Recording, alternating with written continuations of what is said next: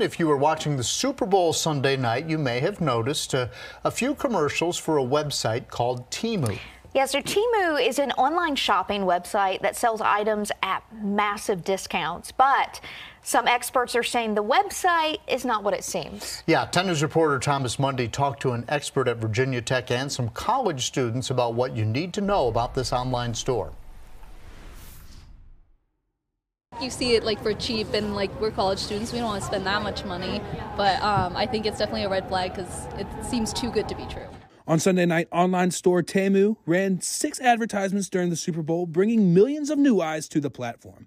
But experts are raising some warnings about the website. The products look great online when you're marketed them. They're always in feed on Instagram and Facebook. But when you get them, is it the same quality that you saw online? And a lot of times it's not. Virginia Tech expert Donna Wertalik says while Temu seems like a great deal, people should be cautious ordering from the websites with deals that seem too good to be true. Really, really look at information on any platform, what you're giving. You know, are you on a secured network, on a VPN, or are you on, you know, just a browser that is collecting? I talked to some Virginia Tech students on what they know about Temu, and many students said while they saw the ads, they're still skeptical. I've seen a lot of ads on TikTok throughout the year um, I was under the impression it was mostly like a Shein type of website, just kind of a little bit of a scam, very cheap items. One student said while seeing the Super Bowl ads did give the company some legitimacy in his eyes, he still does not trust the company completely. I saw the ad at first, I was like, Temu, wasn't that like the